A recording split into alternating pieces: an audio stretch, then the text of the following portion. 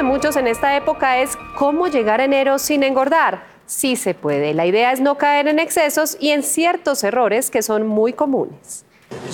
Llega diciembre y con esta fecha las tradicionales novenas, lo que nos cambia un poco la rutina diaria alimenticia. Debemos ser muy racionales con lo que comemos.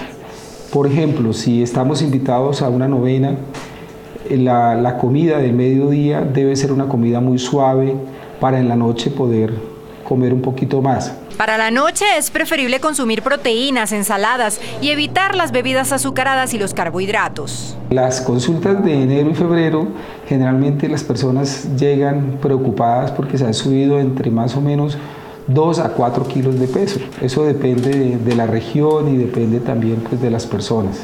Es importante no saltarse ninguna comida y hacer un consumo racional. Desde luego no solamente es el aumento de peso, sino que predispone para enfermedades metabólicas como la diabetes, el aumento del colesterol, de los triglicéridos y obviamente favorece la enfermedad aterosclerótica cardiovascular. El problema es que el estómago se distiende, la sensación de plenitud gástrica pues, es incómoda cuando se va a dormir.